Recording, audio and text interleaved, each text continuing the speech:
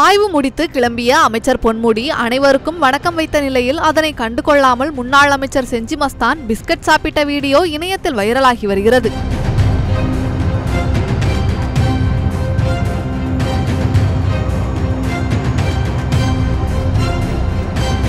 ஏற்கனவே அமைச்சர் பொன்முடி மற்றும் செஞ்சி மஸ்தான் இடையே மோதல் நிலவி வரும் நிலையில் பல இடங்களில் அவர்கள் சண்டையிடும் வீடியோக்கள் இணையத்தில் வெளியாகி திமுக நிர்வாகிகளிடம் அதிர்ச்சியை ஏற்படுத்தியிருக்கிறது.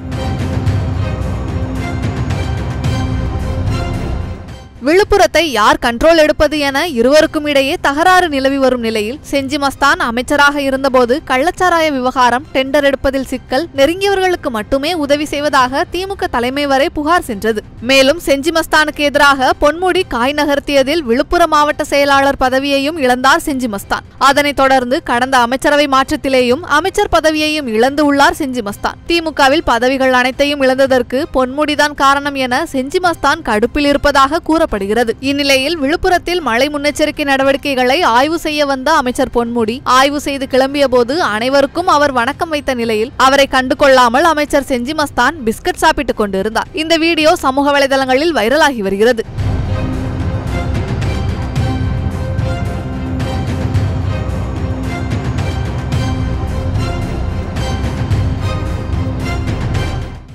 செய்திகளை உள்ளது உள்ளபடி தெரிந்து கொள்ள ரெஃப்ளெக்ட் நியூஸை சப்ஸ்கிரைப் பண்ணுங்க.